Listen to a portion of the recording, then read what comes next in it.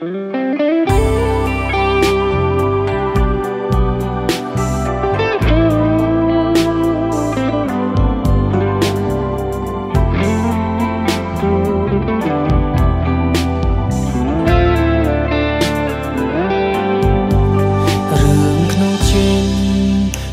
ំនិតមិនចង់គិនព្រួងអាដិន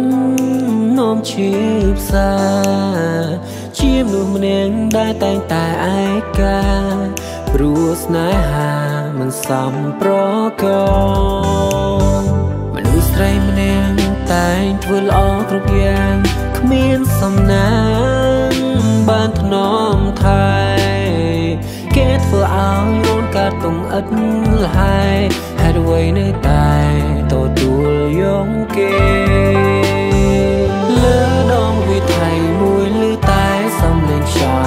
ខ្វាយខ្វល់ចង់ដឹងសោកទុងស្រី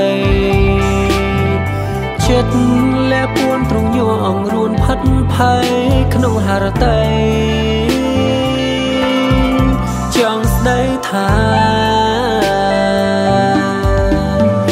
ចាប់អារម្មណ៍អូនយូរដែរហើយក៏ដឹងថាត្រាំត្រើយអូនមានសង្សារហាមចិត្ត មកជួយស្នេហ៍កលយ៉ាងគួរប្រមាណទៅហើយដងលូតលូតញាប់ខ្លាំងណាស់